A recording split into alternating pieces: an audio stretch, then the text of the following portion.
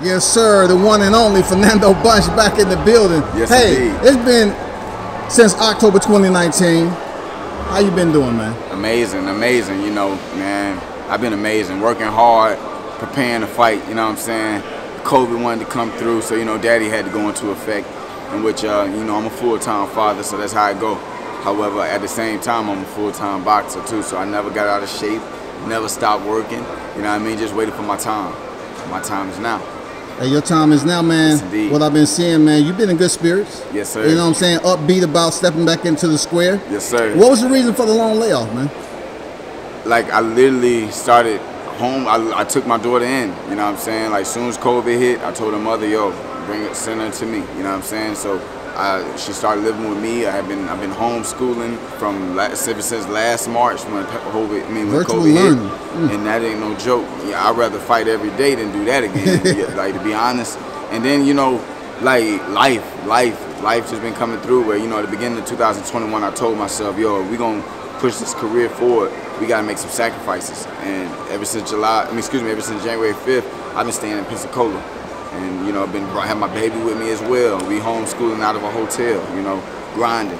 So, Speaking of grinding there, Fernando, you know, we just can't let that slide. You stay in the gym, but you say you've been in Pensacola. What you sir. been down in Pensacola doing, man, with the one and only legend Roy Jones Jr., man? man, a little bit of everything. Working hard, training hard, training with greats, chasing chickens, catching raccoons, fighting, sparring, everything. Everything. So you learn you learned a different trade down there, man. You Oh, yeah. you, you compete in a combat sport, Yes, but sir. yet you know how to hunt for your own food too. Absolutely, absolutely. Like now, now a lot of people tell me I'm a full-fledged country boy. Like I got Yeah. my stripes now, so I'm with it.